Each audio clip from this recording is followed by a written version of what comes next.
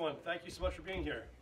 This is my first time being called to the chief's office, so I felt like I might have been in trouble, um, but I'm delighted to be here. Um, uh, in all seriousness, thank you so much for taking the time today. We are excited today to announce uh, a comprehensive strategy to fight auto theft across the city of Denver and what we think will put us on path to be uh, one of the most aggressive enforcement cities to make sure we can reduce uh, auto theft across the city uh, in a comprehensive way. I want to talk a little about uh, the variables that led to us getting to this place and the strategy we are going to use to get out of this place um, and the evidence we have that shows that these strategies will work.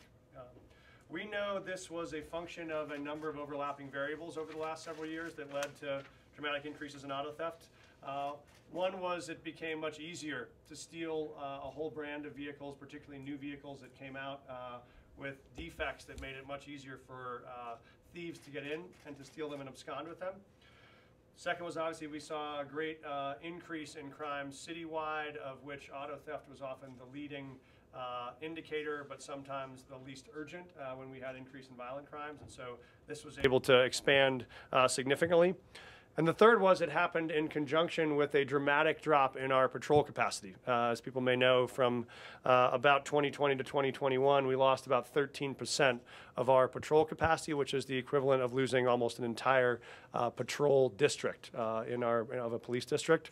Uh, and so that lays out, we think, what the path is to how to solve the problem that we're facing. So I want to talk you through the overview of the five key steps of this coordinated plan we're announcing today. I'll give it over to the chief and his team to talk in greater detail. Um, uh, the first is you may remember when I was uh, campaigning uh, for mayor, we publicly pushed for the idea that we needed to have a dedicated unit uh, in the Denver Police Department focused on auto theft. Uh, Chief Thomas took it upon himself uh, to get that started and launched our, successfully. We have now the Denver Auto Theft Team. That was launched as a pilot last year. It has been very successful. We're excited to commit to now making that pilot effort permanent so that the Auto Theft Team will be a permanent function of the police department uh, going forward. Uh, the second one is we have also uh, demonstrated uh, the powerful success of the use of license plate readers. These are cameras that allow you to read the license plate of a vehicle when it is uh, leaving a location.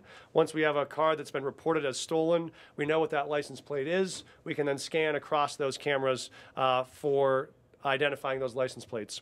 Under the chief's leadership, we deployed that strategy, as you know, at, at the Denver airport. Uh, over the last six months, we put license plate readers at Den Airport. Uh, over the last six months, we have dropped the auto theft rate at DIA by 90%. 90% decrease in auto theft at Den using these license plate readers. That is why our plan now is to expand that capacity across the city. We will take the city from two license plate readers currently in operation around the city and county of Denver to 111. Um, we will put 111 license plate readers across the city at more than 70 intersections, which means if you steal a car anywhere in the city, we will have a chance to track you as soon as you have left that location, know the direction in which you fled, and be able to help inform police pursuit uh, of those individuals at that time. The third is, as was mentioned, and uh, our team can go in greater depth on this, there are certain vehicles and brands that are very, very susceptible to theft and make up the great majority of thefts happening in the city right now. Many of those right now are Kias and Hyundais, uh, and those are because they have a function where you can break in. I'm not releasing any news to help thieves. This is all over YouTube at this moment. Uh, you can pop the cap off of the start button. You can use an iPhone charger or anything else to connect that electric circuit and start a vehicle with no key fob or anything else. Um, so that is why we're working with Kia and Hyundai to host events this spring where we will invite all Denver residents who have these vehicles to bring them in uh, for us to do a software update that will protect these vehicles uh, from further theft. That's a huge uh, change for folks that are at great risk with those vehicles right now. We are also in the interim, Chief has led the capacity that if you currently have one of those vehicles and are worried about this, uh, you can get a manual protection like a club or others from one of our local police districts uh, to help keep you safe uh, in the meantime. Uh, number four is um, we are also expanding uh, a program that the chief helped start called Denver Track which is a program by which you can um, register your vehicle with the city so we can uh, immediately locate if it has been stolen. Uh, some of us, not naming any names, might happen to have some experience with this situation. Um, but I will tell you what happened when I got my car stolen uh, is I had not done this. We had not registered this with the Denver Track Program. So what I have to do then on a Sunday afternoon is try and call your manufacturer, try and call the uh, uh, the um, uh, original place where you bought the vehicle, try to get a hold of someone who will transfer you, and it took hours before we could get that uh, we could get that accomplished. If you pre-register your vehicle through the Denver Track Program with the DPD, the minute your car is stolen, our police department and our auto theft team is pre-authorized to call the manufacturer on your, on your behalf on a dedicated police line where they can immediately activate the tracking for that car and find it. And so this is a critically important need. We want everyone in the city who has a car made after 2014, you should do this because it is the best way to make sure if your car is stolen, we get it recovered. Um, Second thing is if you're also uh, someone uh, like me who may happen to own a vehicle that is made before 2014 and does not have GPS tracking, we are also partnering with you to put in place a tile system that you can use, uh, that you can store in your vehicle, that we can track. You can also register that uh, with us. So in the event that your car gets stolen, we can also immediately activate the capacity to help you search for that vehicle. Quick recovery is the most important part uh, of the strategy here. Uh, finally, then I'll give it over to the chief. The fifth part of this strategy is, as I mentioned, a huge part of the difficulty here was lost patrol capacity. When we reduce our police force across the city, many things happen. One of them is our inability to respond quickly uh, to auto theft. This is why we are so focused this year on restoring our uh, police force to full authorized capacity. That's why uh, the chief and I are working together to fill three cadet classes this year that would put 167 uh, cadets and then officers back on the street. That would bring us back to greater patrol capacity than we had even in 2018, which would mean we have the people on the streets who have the capacity to respond. So we think together these five steps focus on keeping now a permanent Denver auto theft team, the focus on expanding 111 license plate readers across the city to help deter and chase uh, uh, vehicles that have been stolen. The ability to work with people that have high risk vehicles that are being stolen to upgrade those with software improvements to make them more protected.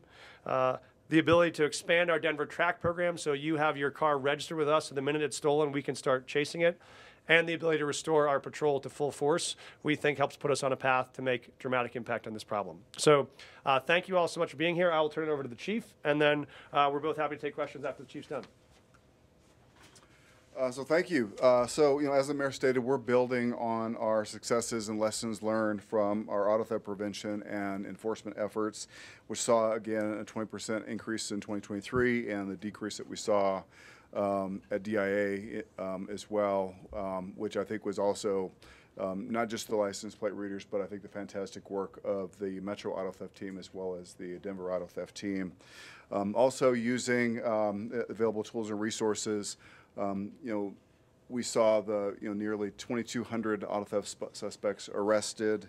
also, uh, 20, 2,800 people signed their vehicle up for a Denver Track. Um, and none of those people have had their car stolen so far. So, you know, thankfully, uh, because they're registered, uh, we'll be able to re recover that car quickly if it's stolen. Um, but we're hopeful that the fact that we actually give everybody that registers um, a sticker to place in a very conspicuous location on their vehicle is actually a deterrent to, to it being stolen. So, uh, again, you know, uh, as the mayor stated, our DAT team is moving from pilot to permanent. Uh, and so, uh, based upon the successes that you can see here, uh, 200 uh, auto theft arrests made specifically by this team. That's about 20% of all the auto theft arrests made uh, by the city. An additional 45 arrests for other felony crimes, and then 30 illegal guns recovered by this team as well, which supports our theory that a lot of these cars that are stolen are actually stolen uh, and then used in some other type of violent crime. Uh, the team is made up of five uh, highly specialized investigators, uh, as well as two uh, uniformed patrol officers, and then supervised by a sergeant. So, uh, you know, I think one of the primary things that we're all here to talk about in today's conversation is we are preparing to install a network of license plate reader cameras throughout the city. As was mentioned, we're going to have 111 cameras installed throughout the city. It'll cover all six of our police districts. Um, 93 of those cameras are actually going to be purchased through general fund, and we'll be adding that to 18 that were previously acquired by Councilman uh, Kashmann and Councilman Sawyer.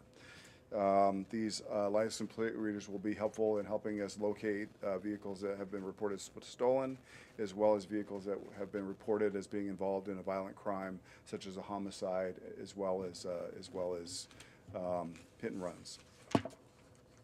So certainly, we want to have some policy uh, safeguards. So as you can see, the system will not collect uh, personal identifiable information. Uh, The camera is vectored right at the, the back of your car, so all it's going to capture is that license plate. Um, The data is only going to be stored for 30 days unless um, it is um, identified as evidence uh, in a crime, and then it will be tagged, and that uh, particular footage or image will be uh, retained for beyond that period of time. But uh, if it's not tagged, it will be, uh, it will not be retained beyond 30 days. Um, It will not be used for uh, traffic enforcement or uh, justifications for searching vehicles. Uh, All alerts will be verified uh, with dispatch, so if an officer gets an alert uh, on a specific uh, license plate, they're going to check that information, cross-reference that information with the dispatcher before making any enforcement action. Uh, All searches of the database will be tracked, and then we'll be performing random audits of our searches. I think it's also important to acknowledge that the footage uh, is going to be owned by the Denver Police Department, the city and county of Denver, not going to be sold or, or shared um, by the vendor. Uh, It's also not connected to registration data or any third-party uh, database such as uh, Carfax or the DMV. And then, you know, in the vein of uh, transparency, we are going to be uh, setting up a, a transparency portal uh, where you can see uh, information I think is going to be important to folks. This is going to be located in the same place where all of our other transparency data is located on our DPD website. You'll be able to see exactly where all of our uh, cameras are located. You'll be able to see um, all of the all of the license plates that were tracked, those that were identified as being wanted. Also, our, um, our policy will be available uh, for review here. Uh, This is just an image of uh, Castle Rock's um, uh, policy that they have up- uploaded. Um, And Castle Rock, by the way, has uh, deployed uh, license plate reader cameras and saw a 40% reduction in their auto theft since the deployment of their cameras.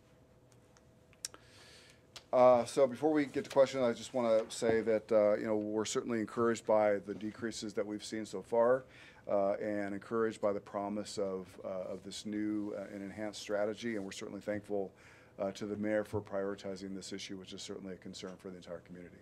So, questions? Yes?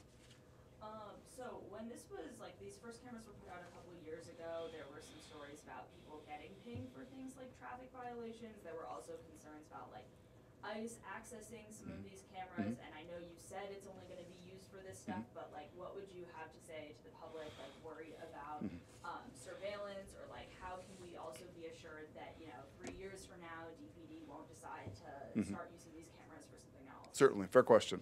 So I, I think the cameras that, uh, that you're talking about, I think one of them is at Sixth and Federal, and those cameras were actually installed for different purposes. And so um, the, the tolerances, uh, for lack of a better term, that were, uh, that were set on that were for uh, various, um, uh, you know, traffic violations and things like that. And so the, the tolerances on these cameras are not going to be set for that. It's only going to be set for auto theft and violent crimes and hit and runs.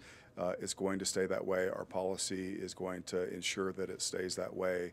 We're going to have um, um, uh, insurance measures in place to make sure that no one is searching the database um, and using it for any other any other justification. And and and by by city policy and mandate, we're not going to be sharing any information with ICE. A lot of people are using AirPods, Yes. Apple's devices. What do you say to those folks? Do you want them to forget about them, keep using them? Do you guys have access to that? We do, and I think, you know, as the mayor alluded to, so obviously any uh, vehicle that was manufactured after 2014 probably has some sort of um, uh, manufactured tracking device, but those that were, uh, that were built before that uh, date, I think those tiles are very effective. And so we certainly encourage people that have vehicles that were made uh, before 2014 uh, to get one of those devices, place it in a in an inconspicuous location within your car, um, and then give us that permission to, to track that vehicle. It's certainly very helpful. Yes, sir. Do you have to establish uh, probable cause, obtain a warrant, or what's the process look like for you guys actually accessing that data and using it in a case? So uh, the, the the fact that that the license plate um, is associated with an auto theft. So you know, someone reports their car, they say, "This is my this is my license plate," or um, witness to a homicide or a non-fatal shooting says, "This is the vehicle. This is the license plate of the vehicle." I mean that that is reasonable suspicion, probable cause right there. Um, and obviously, you know, when that plate is is um, alerted to an officer, they're going to contact the dispatcher to verify uh, what they're in fact seeing. So, yes, sir. I'm just curious, are, are these cameras in a vulnerable place? I mean, do you have problems with vandalism, or are you concerned about that? And how much, do you know, that? Well, expensive technology certainly. So I guess that is a concern. Um, uh, we're not going to be shy about where these uh, uh, these are located. Uh, I know that the contract includes uh, some some maintenance, and so um, I think that other people's experience are, are that they aren't easily uh, you know damaged. Yes, ma'am. So with being transparent Mhm. about where they are, is the goal really to have just so many everywhere that you can catch people in the act? Uh, I Yes. guess- Yes, I mean, we certainly don't want to have any disparate impact on any particular community. Uh, certainly, these were, uh, the locations were identified through an overlay of uh, violent crime, auto theft, as well as hit and runs. Uh, so that's how we identified the locations that they were best deployed at. Um, and yeah, we want people to know that they exist. We want people to know that uh, if you steal a car, you're going to be quickly uh, tracked and identified and captured. Um, and I think we want the public to have assurance that uh, that uh, if your vehicle is stolen, that we have that opportunity to recover quickly. So are they on, are they on traffic poles, are they on lights? Where are they? Yes, I mean they have to be, you know, kind of in a in a location where they can, you know, uh, see down towards that where that license plate is uh, is visible, and so, you know, I think any you know traffic poles and, and other utility poles and things like that are optimal locations. Yes, Jason. Have you seen another major city use this type of technology, and why is this, why is this deemed to be the most effective in order to stop auto theft? We, we have, um, you know, we've done quite a bit of research, uh, and so there are other cities that have used this. And again, you know, even locally, um, uh, Lone Tree has used it very effectively. Um, almost immediate uh, success, I think, seen at DIA. So that I think is proof of concept for why this is an effective strategy. Yes, ma'am. When was it uh, implemented at DIA and when are these Mm-hmm. going to be implemented in the city? So uh, a few months ago is when they were implemented at DIA. So obviously they had uh, a pretty significant issue.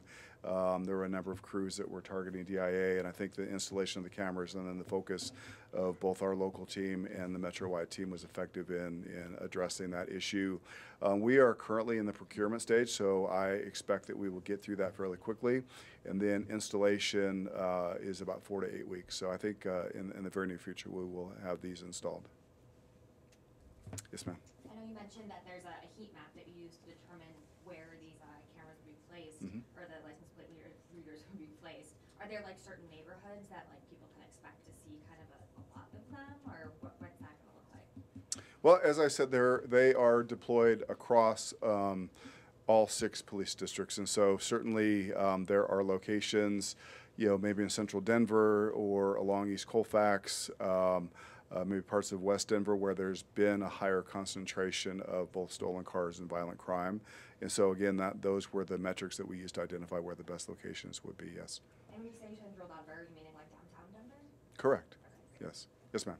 Uh, is it possible to get, to get a list of where these are going up? And then another question, Mhm. like when I think about tiles or increased like car tracking, things like that, that also like raises alarm bells for Mhm. me for like potential victims of domestic abuse. So Mhm. like, is there concern about how increased car tracking could lead to Mhm. more abuse that maybe isn't getting reported or things like that?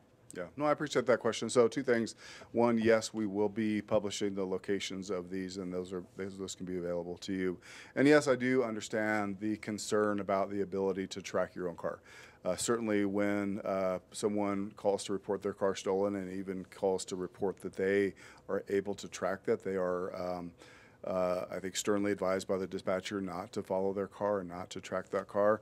I do know that there is thought of legislation, I think, uh, you know, banning that practice for someone to, uh, uh, to track the, the location of their car. I think that we've seen recently uh, a pretty tragic incident where someone who tracked their own car and then was in, involved in a gun battle with the individual that stole their car and that person lost their life. We have time for two more questions. Yes, sir. Uh, some folks in the community are actually worried that the pen- penalties for those who actually are stealing the cars are very, are not harsh enough.